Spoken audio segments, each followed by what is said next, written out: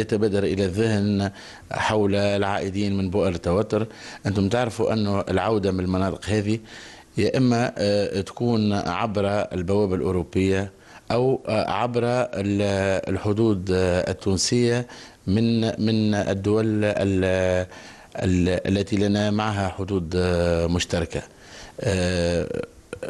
هذه العودة أولا أول ما يتبادر إلى الذهن أنها لن تكون عودة جماعية.